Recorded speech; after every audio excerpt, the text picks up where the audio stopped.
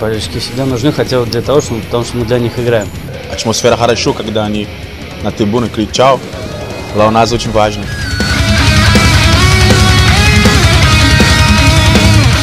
Нам это никогда не помешает, наоборот, подбадривает.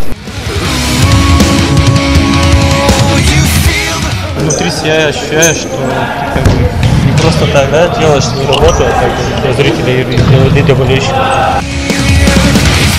Они помогают нам, когда команде тяжело, или когда команда находится, скажем так, встряхнуть ее для того, чтобы она побежала, забивать и выигрывать.